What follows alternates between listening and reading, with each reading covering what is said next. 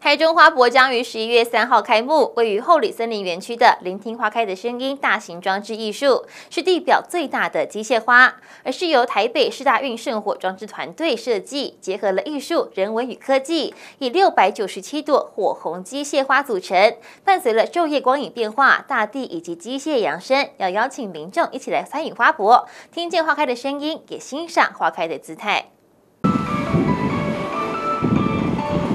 跟着音乐张开无数个红色伞花，将近五层楼高的巨大球体，是台中市政府为了花博所打造的大型装置艺术，叫做“聆听花开的声音”，是地表最大的机械花。这天市府也特别抢先在花博期间首度对外亮相。那这一次呢，结合科技跟人文，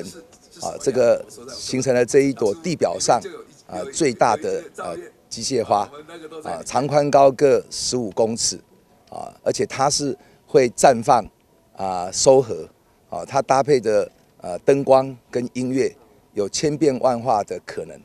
坐落在后里森林园区的聆听花开的声音，是由台北市大运圣火装置艺术团队豪华朗基工一手打造而成的，以球形空间作为骨架，六百九十七朵的机械花都是用雨伞的布面做成，每一个都可以独立控制。除了能够白天展演之外，还能够搭配夜间灯光秀，展现不一样的声光响宴。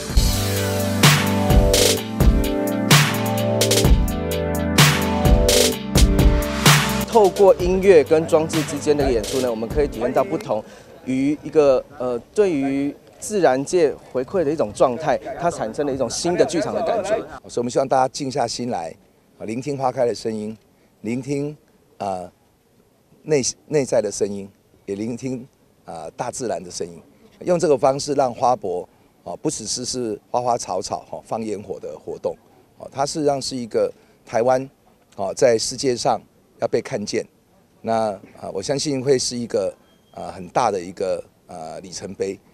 师傅也表示，机械花朵可以依据日照、风向等环境变化进行不同样貌的演绎。例如，微风吹拂时，花朵随之摇摆；人群聚集时，花朵也能够含羞卷起，样貌千变万化。也欢迎民众届时一同来到园区里，感受台中花圃盛况。谢晨博汉台中草报道。